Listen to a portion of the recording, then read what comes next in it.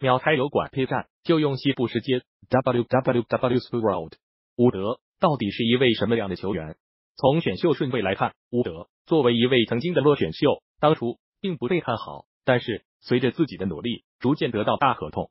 从伍德的薪资来看，火箭在二零二零年夏天以三年四千一百万美元的合同，通过先先后换得到伍德，这是伍德职业生涯第一份大合同，也是伍德职业生涯年薪首次高于千万。伍德是一位薪资千万年薪的球员。从伍德的数据来看，场均十七点九分、十点一篮板，投篮命中率为百分之五十，三分命中率为百分之三十九。以这样的数据，怎么看都是准全明星球员或者一支球队的黄金配角。从伍德在比赛的观感而言，伍德却是一位攻守极其不均衡的球员。伍德在进攻端可以用万花筒来形容，不仅兼顾效率，进攻手段极其丰富，但是伍德的防守却是一言难尽。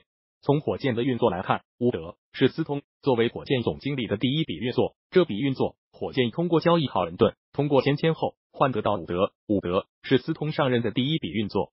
伍德也是火箭对二零一九至二零二零赛季五小阵容的一种纠错。赛季中，火箭将卡佩拉交易，最终换来考伦顿，而由塔克和考伦顿组成内线的屏障。但是这样的配置却成为掣肘内线防守的噩梦。伍德也是火箭用来留下哈登